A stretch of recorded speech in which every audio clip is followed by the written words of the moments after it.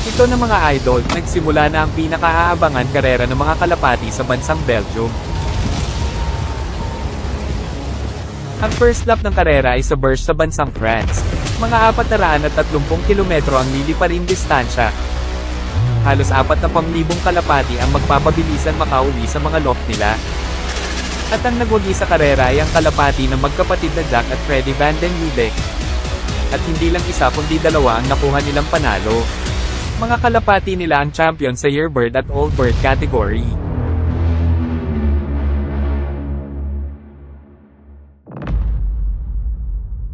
Mga idol huwag niyo po kalimutan mag-subscribe para ma-notify kayo sa bagong videos.